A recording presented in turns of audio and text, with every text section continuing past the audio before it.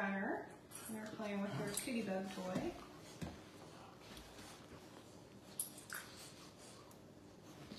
They really play hard sometimes. Gunner is usually the one on the top, so it's kind of funny to see Zoey up there. Play tug.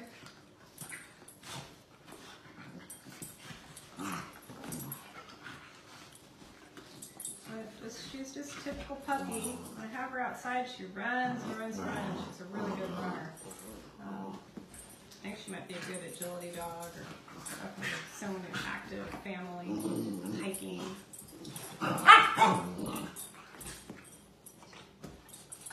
She is crate trained. She does really good in her crate. She does not potty in her own crate.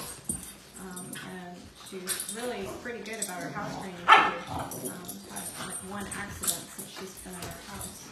So she's doing way better than her foster brother over there, Gunner, is. He's still a handful it comes to potty training.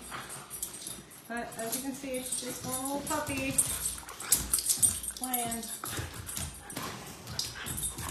We also have another